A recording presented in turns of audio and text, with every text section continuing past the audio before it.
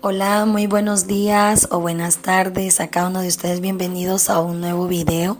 Este es un video familiar esperando en el nombre de Dios que te pueda servir de inspiración y de motivación. Disfruta el video.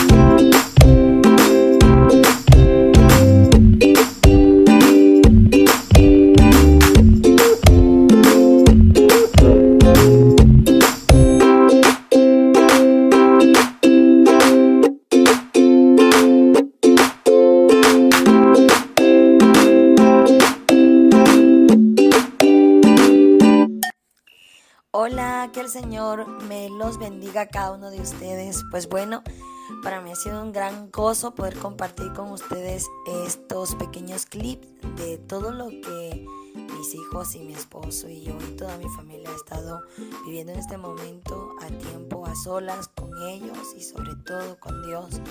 La verdad que a mí se me está haciendo un poquito difícil poder desconectarme de muchas cosas que ustedes saben a lo que yo he estado acostumbrada pero es algo que el Señor me ha estado pidiendo desde hace mucho tiempo.